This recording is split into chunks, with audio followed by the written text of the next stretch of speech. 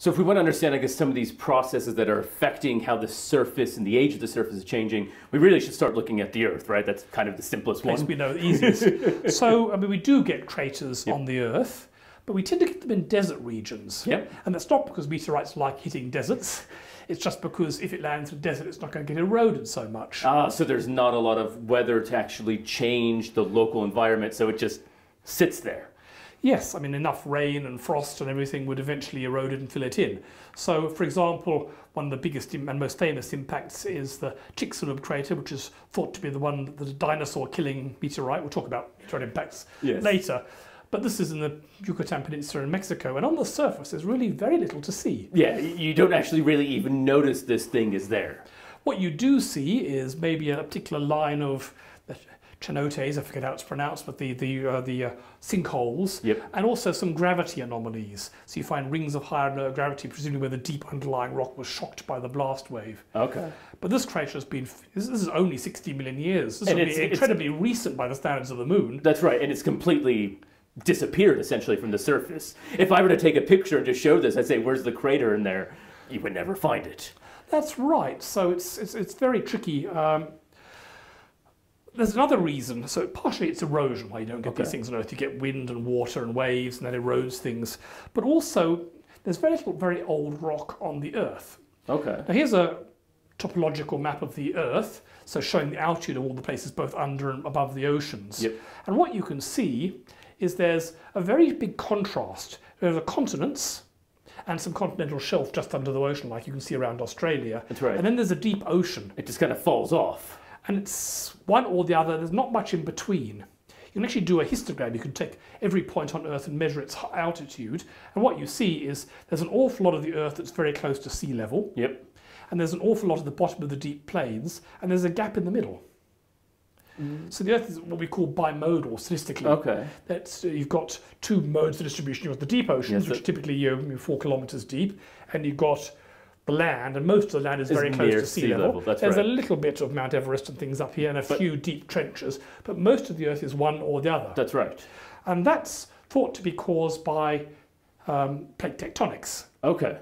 So in the Earth, you've got this very thin crust, Yeah. only a f- you know, 10, 20, 30 kilometres thick over the oceans, and it's being carried around by motions, convection of the magma underneath.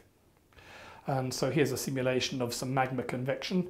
Um, so what you can see is the heat from the middle is welling up, and Yep. just like um, convection from a heater or in a frying pan, Yeah. it causes the lava to move around, and you've got a solid crust on the top. But that's a bit like when you're cooking a Yeah, a right. sauce or something. There's a very thin, dry crust at the top. Exactly. the And as soon as you mix it, it just goes away.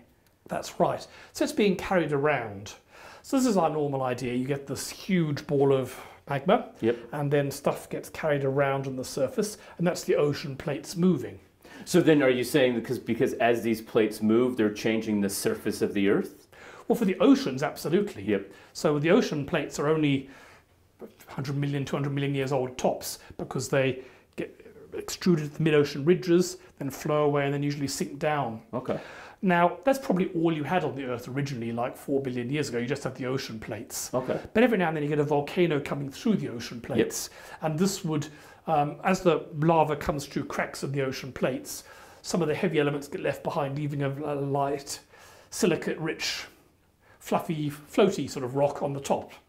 And these fluffy rocks would start building up like foam on top of a bath. if you And so, it, bath. but then it gets layered and layered and layered. But when the, the ocean plates get pushed down below something else, this fluffy stuff is scraped off the top and just starts piling up on the top. ah, okay. So it never sinks, it's too buoyant. okay. And so this light silicate rich stuff probably started being scraped off on one plate, basalt plate went beneath another one, and it scraped and became larger and larger and larger, and that's how the continents form. Okay. Continents are the pond scum. I was like. about to say that we're, we're kind of the leftover crusty bit of the cake.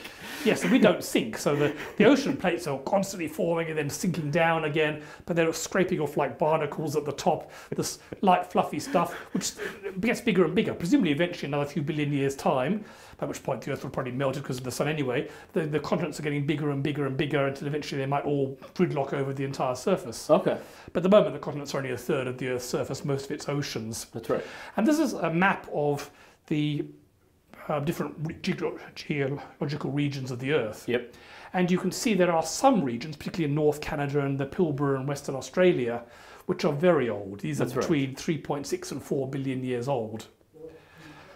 So does that mean they were formed first in this process? They were probably some of the first bits of fluff that got scraped off and the first pond scum to agglomerate. And as time went on, more and more bits of pond scum have been added on the edge to make the continents bigger and bigger. Okay. So, but most of the rocks on Earth are only a few hundred million years old. Okay. Many geologists will tell you Precambrian rocks are pretty old. Yep. The Cambrian's in like 600 million years old. So there's very little rock that's older than that. That's right. There are a few of these very old regions, But there're just not many of them.